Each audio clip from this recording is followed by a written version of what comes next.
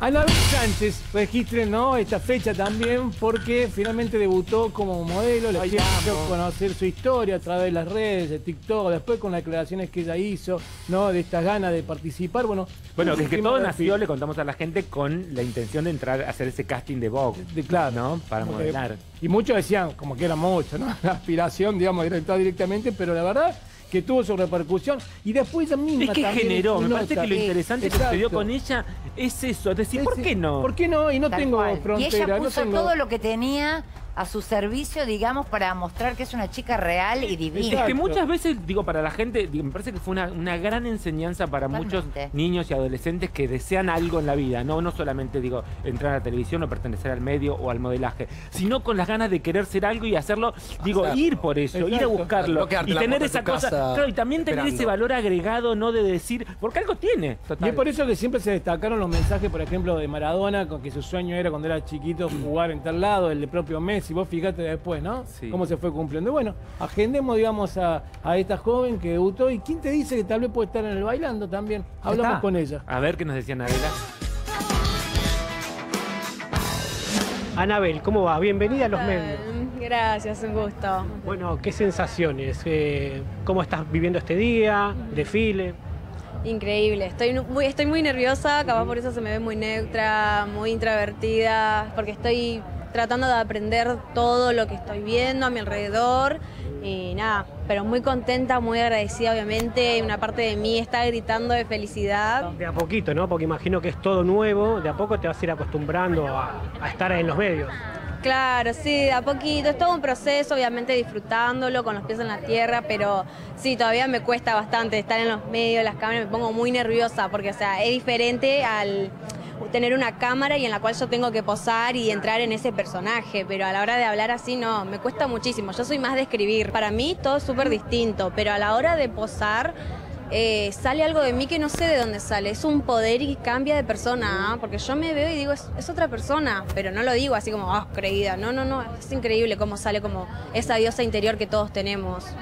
Y es algo que buscabas de chica, ¿no? Modelar, hiciste casting, contabas que ¿Te costó mucho? Sí, un montón, desde chiquitita, o sea, es como que tenía ese sueño, qué lindo, lo veía muy lejano, imposible y no me sentía bienvenida para nada. Pero hace seis meses que empecé a ir a casting de acá, allá, voy, le meto, pero siempre rechazada de todos lados. Muchas veces me pasó que me decían, no, porque sos muy bajita, no, porque estamos buscando otro tipo, otro pie, otra piel. Eh, y nada, es re triste obviamente, pero bueno, qué sé yo yo, yo seguí, intenté y sigo intentando porque obviamente esto recién es el comienzo y hay que estudiar y trabajar mucho.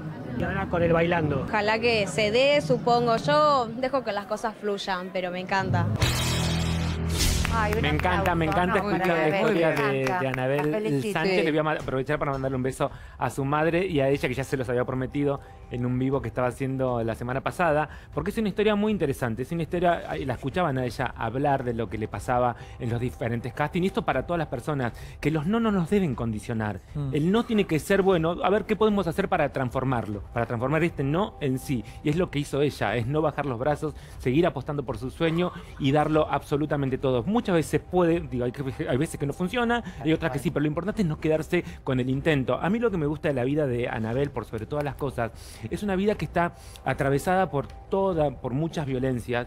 Eh, su madre se hizo cargo de la familia, eh, con pasar muchísimas necesidades, pero sin embargo es una familia que está muy unida. Hay algo que me partió el, corazón, pero de, emoción, fue cuando ella firmó su contrato con la agencia de modelo y no, lo estaban esperando los tíos para festejar y, abrían champán y, brindaban todos juntos y me parece que es hermoso lo que mostró esta familia, así que le deseamos todo lo mejor y me encantaría poder tenerla acá y que sea participante del Bailando sí, porque la verdad que la televisión se merece una participante como ella. Está confirmada para el Bailando, ya la confirmaron Marcelo y Willy Paul, que son la agencia que la representa, así que la vamos a tener acá cerca. Además me, gusta que las redes hayan servido para algo bueno. Sí, en general siempre hablamos del hate, de las redes, de la mala y la verdad que el caso de ella se viralizó por, por la es que le hicieron, que es que le hicieron, es que le hicieron mucho hate. Pero la pero, pero que lo que pasó que fue tan potente lo que hizo ella que opacó todo. No, pero si vos veías, en realidad si vos veías los primeros tweets que se hicieron virales, destacaban la actitud de ella, decía, mirá cómo desfila en su patio con una actitud como si estuviese en la pasarela más importante. Y eso también ¿eh? generó. es lo que acabas de decir, me parece, es la actitud de, decir, no me importa dónde estoy, sino lo que tengo para ofrecer. y dar lo mejor de mí en el patio de mi casa, en un desfile. Creo que desfiló ahora también el, fin de semana. Ah, bueno, donde estaba ahí. Eh, claro, entonces importantísimo. me parece, y me encanta que haya entrado una agencia. Me gusta que haya entrado una agencia importante porque en un momento, en un momento cuando surgió ya la veía que muchas marcas ya le empezaban, te mando producto, no es te mando producto. Acá yo dije, yo, yo le escribí. Pues yo soy muy. Vos sos muy consejera. Muy consejero que no me lo pida, decía factura. Nada de amiga, amigas. Digo, la de estas, dije. ¿Sabés una cosa? Vos tenés que facturar todo. Porque es así, porque es un trabajo. Esto es así, es un ida y vuelta. Digo, vos subís, pero la verdad, facturando porque le dije, hay que llenar la heladera. Claro. Siempre hay que llenar la heladera. Hay que pensar. Y es un buen consejo para los jóvenes, ¿no? Por más Anabela, que me, Anabel, eh, que me parece que es interesante esto de, ayudar a los chicos que están del otro lado y que tienen un objetivo y que no saben qué hacer. Bueno, ella lo hizo, lo logró. Esto. Vamos, adelante. Me parece que es usar hoy que está la posibilidad de las redes sociales. Me parece que muchas veces también, viste, cuando te vienen a preguntar los estudiantes de periodismo, eh, ¿qué hago? ¿Dónde puedo llevar un, currículum? En ningún lado.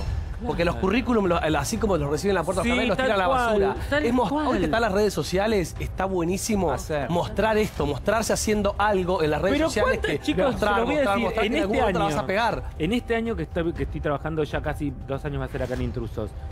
La gente que ha surgido con la información que tiran cada uno de ustedes, que la levantan y la, su TikTok después lo escuché diciendo ta ta ta ta ta, tienen programitas ahora. Tienen programa, entonces ¿Viste?